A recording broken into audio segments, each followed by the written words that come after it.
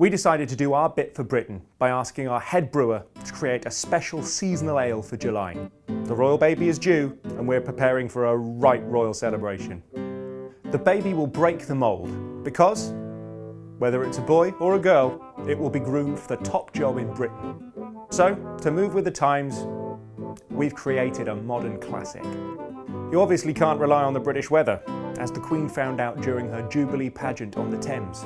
But you can rely on 180 years of McMullen's brewing history. Because we've learned how to combine great British ingredients to create something truly unique. We use dried, sprouted barley from local Hertfordshire farmers, pure water from the natural aquifer 60 metres below our brewery, and whole hops from Herefordshire and Kent.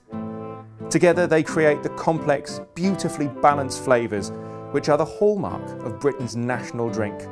Like all our ales, Heir Raiser is a traditionally made British product that's 100% natural. It's a beautifully refreshing summer ale and the perfect way to wet the baby's head.